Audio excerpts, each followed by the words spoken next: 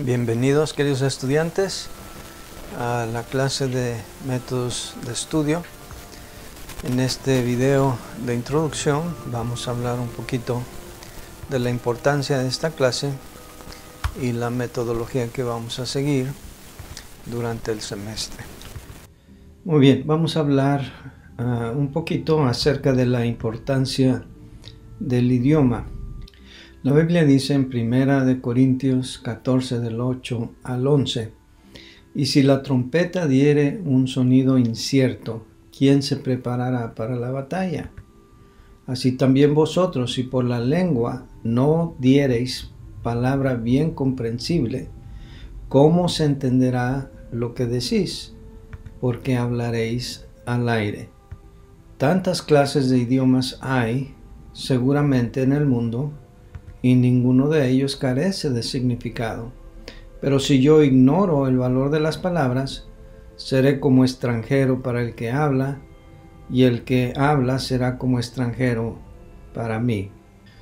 El idioma, como todos sabemos, es el canal por medio del cual se transmiten las ideas. Dios mismo diseñó el idioma para poderse comunicar con nosotros.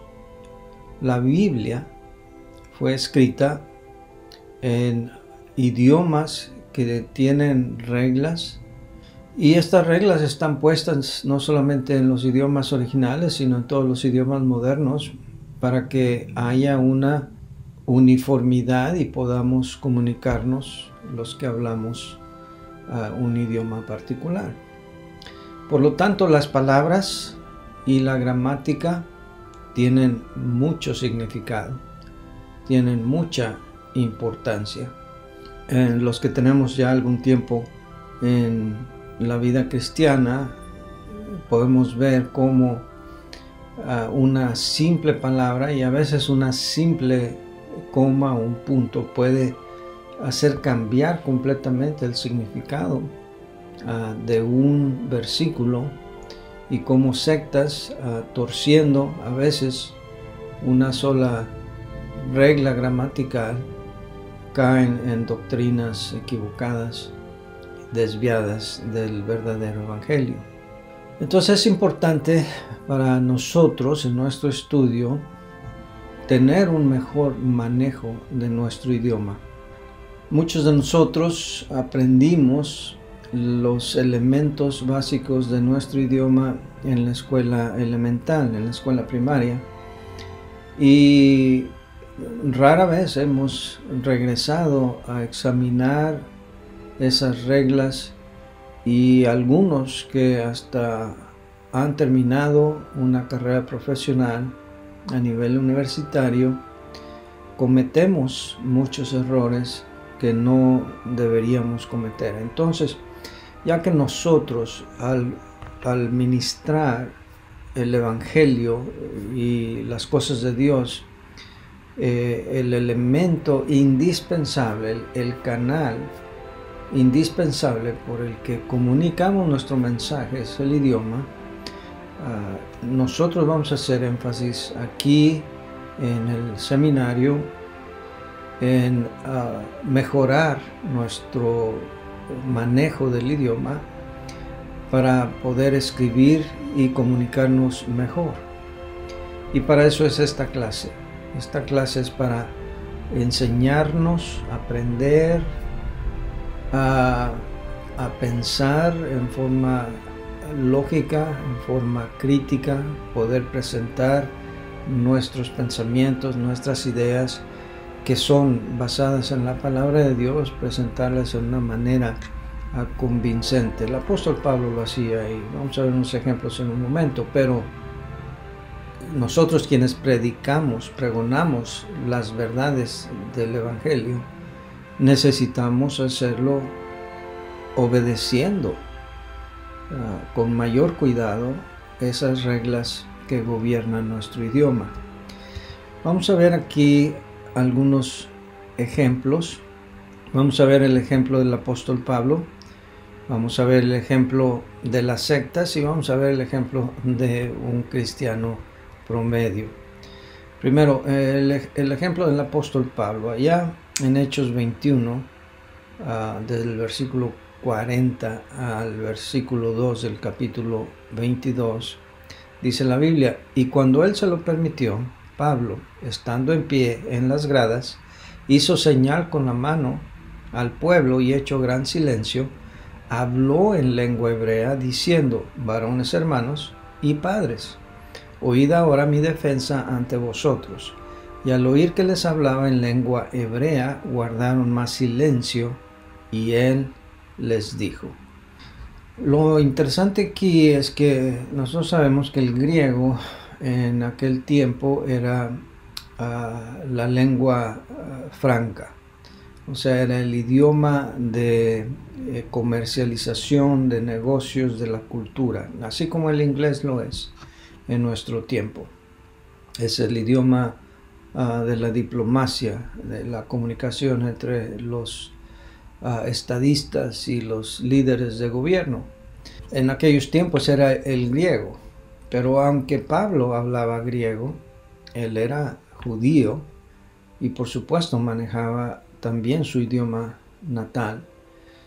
Y eso llamó la atención a estos ah, hermanos o hermanos de sangre de él, de que haciendo seña con la mano empezó a hablarles en su idioma. Ah, entonces vemos que el, apóstol Pablo era un, un siervo de Dios que manejaba bien los idiomas. Porque en otra ocasión, en el Areópago, cuando ah, se paseaba por Atenas viendo los altares que había a todos los dioses habidos y por haber, eh, se refirió al altar al Dios no conocido, para a partir de ahí predicarles el Evangelio. Pero aún citó a los escritores griegos, diciendo como vuestros propios poetas han, han dicho. Entonces tenemos en el ejemplo de Pablo alguien que ah, dominaba eh, los idiomas porque ahora en, este tiempo moderno ah, se menosprecia, se le da poco valor a comunicarse correctamente. Otro ejemplo, en 1 Corintios 2.4 dijo, y ni mi palabra ni mi predicación fue con palabras persuasivas de humana sabiduría, sino con demostración del Espíritu y de poder. Ahora, en algunos círculos cristianos, Ah, se enfatiza el hecho de que necesitamos hacerlo con la unción del Espíritu Santo, en el poder del Espíritu Santo, y está bien.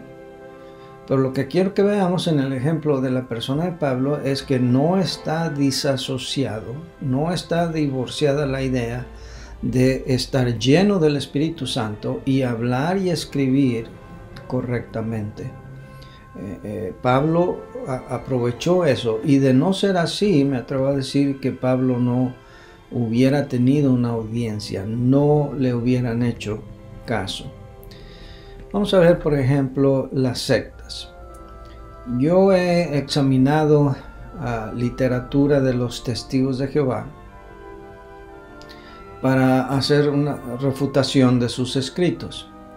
Y hermanos, por muchos años, al eh, leer y escudriñar la literatura de los testigos de Jehová, no encuentro errores ortográficos. Encuentro que su literatura está escrita en forma muy profesional, en un nivel, eh, no me refiero a un registro de vocabulario, sino me refiero a un nivel de excelencia de lo mejor. La calidad de sus publicaciones son excelentes. También ah, he revisado la literatura de los mormones. Eh, recientemente he estado en comunicación con unos, ah, les llaman ellos elders, misioneros ah, mormones, y me han traído literatura.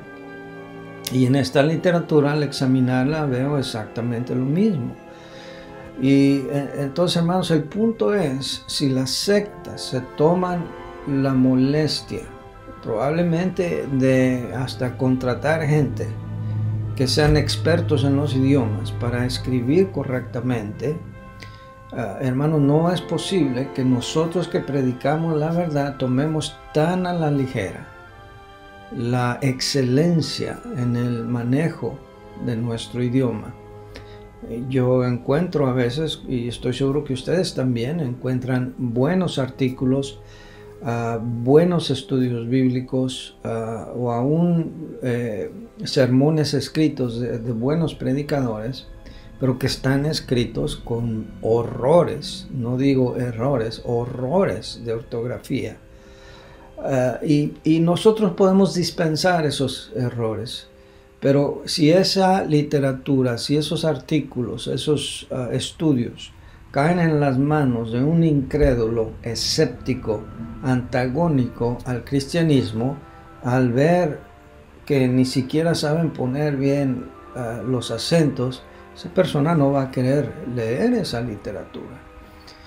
Entonces nosotros aquí en el seminario bautista en línea queremos ser buenos administradores de Dios en esta área y levantar una generación de hermanos y hermanas, siervos de Dios, que seamos líderes en el, en el área de a producir buena literatura, libros, tesis, estudios bíblicos y ahora material multimedia con videos y todo eso para que más y más personas conozcan de la verdad de Dios que Él nos ha comunicado a través de su palabra. Pero desafortunadamente, el ejemplo que tenemos de eh, la mayoría de los cristianos es ah, muy lamentable. Por ejemplo, en, Facebook he tenido yo algunas ah, pequeñas ah, confrontaciones, discusiones sobre algunas de estas cosas. Veo, por ejemplo, con tristeza que pastores escriben Dios, Señor, Jesucristo, Espíritu Santo a las personas de la Trinidad con minúsculas. Escriben ah, sin, sin, acentos o con los acentos en lugares equivocados, sin signos de puntuación. E, es difícil eh, ah, leerlo, eh, es intolerante. Eh, entonces no, no debería de ser así. Hace algunos meses una ah, hermana en Cristo en, en, un grupo cristiano en Facebook escribió sin mayúsculas, sin puntos, eh, sin signos de puntuación. Escribió, ah, doy gracias a Dios por un año más que me ha dado. Y me ha dado sin H, Dios ah, en minúscula, a la palabra año, que ella supongo que quiso poner año, sin la tilde que lleva la ñ por encima, y al leerlo dice, doy gracias a Dios por un ano más. Eh, da risa, ¿verdad? Porque que yo sepa, Dios nada más nos ha dado un solo miembro ah, de ese nombre a todos y cada uno. Ella sería la primera que tuviera un ano más. Eh, no solamente es ridículo, es tonto, es, eh, da risa pero no debería de ser así. Entonces, para, entonces, para honra y gloria del Señor, ah, vamos a tomarnos el tiempo en esta clase para ah, encaminarnos en esa senda de escribir y expresar nuestros pensamientos ah, de una manera que exalte el nombre del Señor. ¿Qué es lo que vamos a estudiar aquí? Bueno, vamos a aprender a pensar críticamente. Necesitamos saber eh, analizar, discernir aún eh, cosas de la palabra de Dios, pero también los libros escritos por otros autores. poder discernir de un párrafo cuál es el punto al que quiere llegar el autor Ah, para que de esa manera nosotros también, cuando sea nuestro turno escribir, ah, podamos ah, poner atención a el punto que queremos demostrar. También vamos a aprender a escribir apologéticamente. ¿Qué quiere decir eso? Quiere decir que vamos a seguir las reglas de la lógica poniendo premisa tras, premisa para llegar a una conclusión convincente. Ah, una vez más, usando el ejemplo de Pablo, Pablo lo hizo al hablar en público, nosotros debemos poderlo hacer al hacerlo ya sea a través de nuestros sermones, estudios bíblicos en forma oral, como también en forma ah, escrita. Aún las hermanas que escriben eh, material de estudio hasta para los niños en la escuela dominical o estudios bíblicos para otras hermanas, todo este material le va a ser de mucha ayuda y mucha bendición. Vamos a aprender aquí a manejar un manual que se llama Manual Turabian. Ah, hay otro manual similar que se llama el MLA y ustedes me escucharán referirme a uno al otro indistintamente. Son prácticamente eh, lo mismo. En este manual Turabian es, es, un manual que se utiliza en todas las instituciones educativas para regir eh, las normas de cómo se eh, hacen trabajos, desde ah, reportes de lectura, como composiciones ya más complejas, como ensayos de varias páginas, o aún tesis, tesis ah, para graduación. Y si podemos escribir para tesis, entonces también hasta para libros. En este primer módulo vamos a aprender cómo hacer ah, algunos reportes de lectura, cómo ah, hacer nuestra portada para todo trabajo. Vamos a aprender a hacer también ah, bosquejos y también vamos a aprender en el resto del semestre cómo hacer composiciones. Pues bien hermanos, esto es lo que vamos a hacer en este primer módulo. Como dijo alguien, ¿no? tengo información de quién ah, hizo célebre esta frase, pero eh, tiene una gran enseñanza para nosotros. Si vale la pena hacer algo, vale la pena hacerlo bien. Esto también es bíblico en un sentido. La palabra de Dios nos dice, y todo lo que hagáis, hacedlo de corazón, como para el Señor, y no para los hombres. Pues bienvenidos hermanos, gracias por ah, tomar el reto de prepararse mejor para el servicio del Señor. Dios les bendiga.